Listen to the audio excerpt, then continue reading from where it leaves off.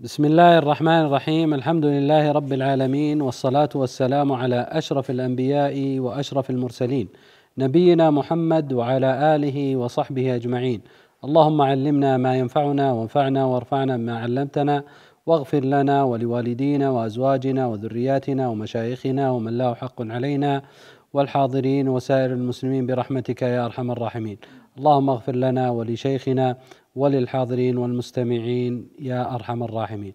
قال الشيخ الإمام محمد بن عبد الوهاب أجزل الله له الأجر والثواب في بقية رسالته إلى عبد الله بن سحيم مطوعه للمجمعه.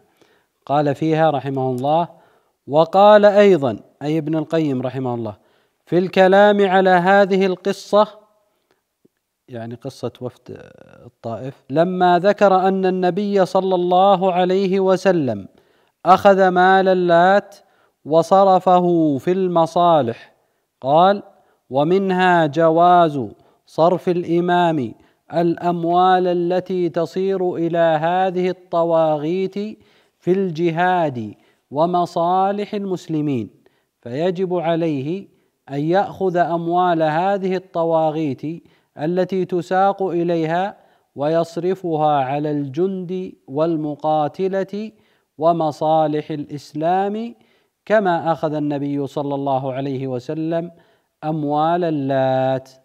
بسم الله الرحمن الرحيم. الحمد لله رب العالمين. وصلى الله وسلم على نبينا محمد وعلى آله وأصحابه أجمعين.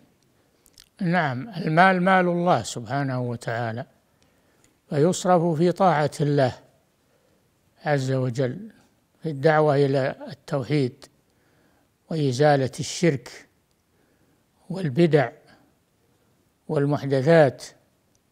هذا أساس الدعوة إلى الله سبحانه وتعالى.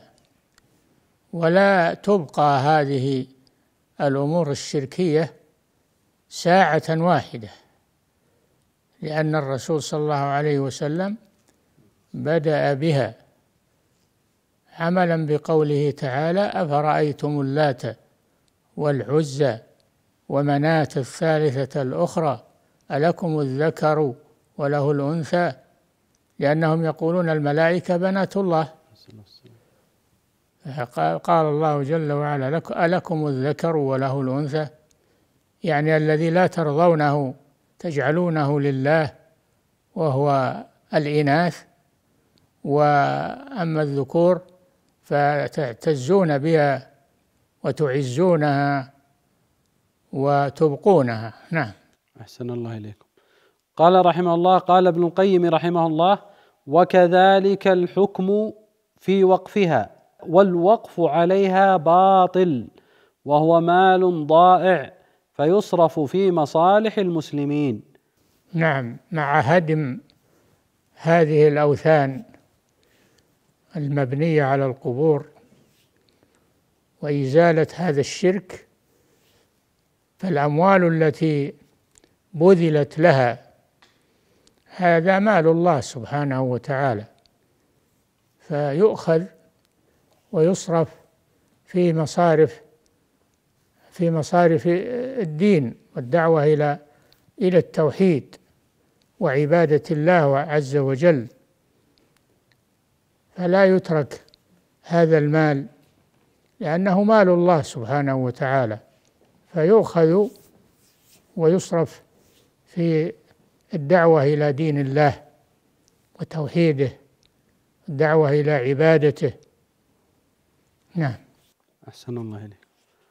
قال رحمه الله فإن الوقف لا يصلح إلا في قربة وطاعة لله ورسوله فإن الوقف لا يصح إلا في قربة وطاعة الله ورسوله فلا يصح على مشهد ولا قبر يسرج عليه ويعظم وينذر له ويعبد من دون الله وهذا مما لا يخالف فيه أحد من أئمة الدين ومن اتبع سبيلهم. انتهى كلامه رحمه الله.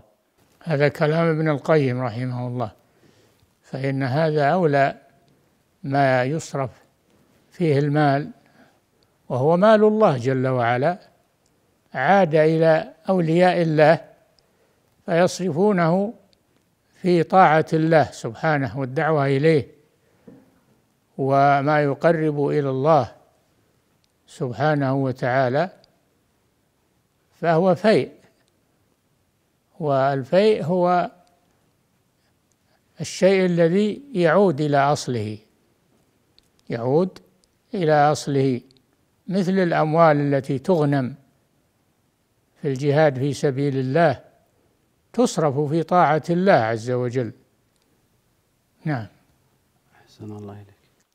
قال الشيخ محمد عبد الوهاب رحمه الله فتأمل كلام هذا الرجل الذي هو من أهل العلم وهو أيضا من أهل الشام كيف صرح أنه ظهر في زمانه في من يدعي الإسلام في الشام وغيره عبادة القبور والمشاهد والأشجار والأحجار التي هي أعظم من عبادة اللات والعزى أو مثله.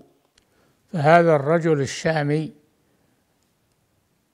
كلامه واضح في ما يجب في الأموال التي توقف على هذه المشاهد في أنها تصادر وتصرف في في الدعوة إلى التوحيد وإلى عبادة الله سبحانه وتعالى لأنها فيء والفيء هو الذي يعود فهي عادت إلى الأصل الذي يصلح لها وهو الدعوة إلى التوحيد وإقامة دين الله سبحانه وتعالى.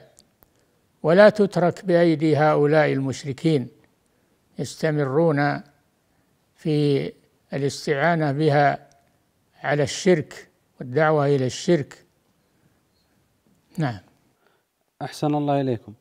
قال رحمه الله وأن ذلك أي الشرك ظهر ظهورا عظيما حتى غلب الشرك على أكثر النفوس وحتى صار الإسلام غريبا بل اشتدت غربته.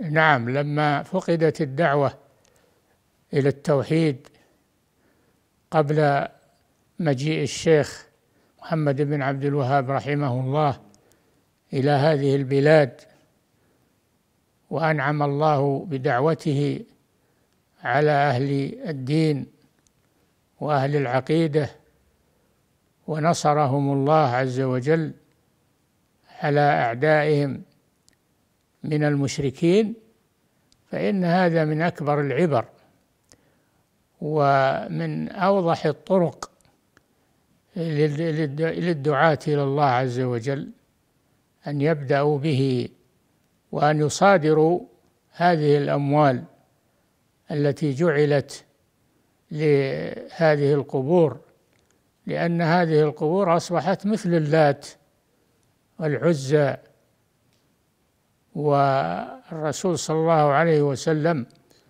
لما جاهد المشركين واستولى على أموالهم صرفها في الدعوة إلى الله وطاعة الله فعادت إلى الأصل التي أوجدها الله من أجله. وهذه المصلحة فوق كل مصلحة. نعم. أحسن الله إليكم. قال الشيخ رحمه الله وحتى صار الإسلام غريبا بل اشتدت غربته. أين هذا؟ من قول صاحبكم لأهل الوشم في كتابه لما ذكروا له أن في بلدانكم شيئا من الشرك يأبى الله أن يكون ذلك في المسلمين. يعني يقصد آه، ابن مويس. نعم المويس هذا من علماء الضلال من أهل نجد ومن دعاة الشرك. فهو يحسن للناس ما هم يعني يحسن لمن للجهال يحسن لهم الشرك وأمور الشرك وأن تبقى الأموال بأيدي هؤلاء الدعاة إلى الشرك وأهل الضلال.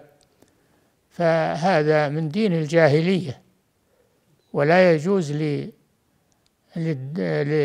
للقائم على الدعوة إلى الله أن يبقيها بأيديهم ولو لحظة ولو لحظة واحدة لئلا يستعينوا بها على إصدار الشرك إلى الناس والدعوة إليه وما يعظمونه ويعتقدونه. نعم. أحسن الله إليكم. قال رحمه الله وكلام هؤلاء الأئمة من أهل المذاهب الأربعة أعظم. وأعظم وأطم مما قال ابن عيدان وصاحبه في أهل زمانهما أفترى هؤلاء العلماء أتوا فرية عظيمة ومقالة جسيمة؟ هؤلاء العلماء الذين أنكروا الشرك ودعوا إلى التوحيد يعتبرهم ابن سحيم أن يعتبرهم أنهم ضلوا الطريق وأخطأوا؟ حاشا وكلا. إنهم على الطريق الصحيح الذي جاءت به الرسل وخاتمهم خصوصا خاتمهم محمد صلى الله عليه وسلم خصوصا خاتمهم محمد صلى الله عليه وسلم. فإنه أول ما بدأ بإنكار الشرك وإبطال الدعوة إليه ودعوة الناس إلى التوحيد الخالص لله عز وجل كما هي دعوة الأنبياء والمرسلين من قبله عليهم الصلاة والسلام. نعم. أحسن الله إليكم. قال رحمه الله فهذا ما يسر الله نقله من كلام أهل العلم على سبيل العجلة فأنت تأمله تأملا جيدا واجعل تأملك لله مستعيذا بالله من اتباع الهوى. يوصي الشيخ رحمه الله هذا العالم بأن يسلك هذا الطريق الصحيح في في دعوته إلى الله وفي الأموال التي تؤول إليه من أموال من الأموال التي تصرف في أسا في في في أسس الشرك الشرك بالله عز وجل. فهذا مسلك شرعي صحيح وهو مسلك الأنبياء جميعهم عليهم الصلاة والسلام. فإن الله بعثهم وأمرهم أن يبدأوا بالدعوة إلى توحيده وإبطال الشرك والرد على أهله حتى تستقيم الملة ملة التوحيد كما قامت على أيدي الأنبياء السابقين وقامت على عهد رسولنا محمد صلى الله عليه وسلم.